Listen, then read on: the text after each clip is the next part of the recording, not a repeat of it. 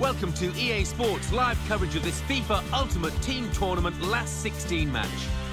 A long road ahead of them to get to the final. Let's see if they can get a victory today and avoid an early exit.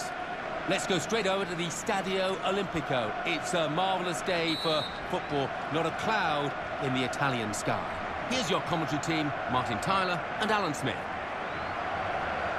Well, we're down to 16 teams now in this competition, Alan.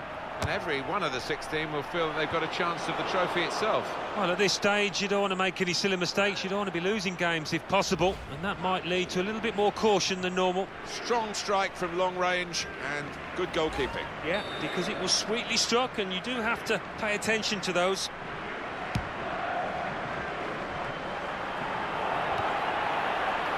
David Alaba. And here's the shot. Goal!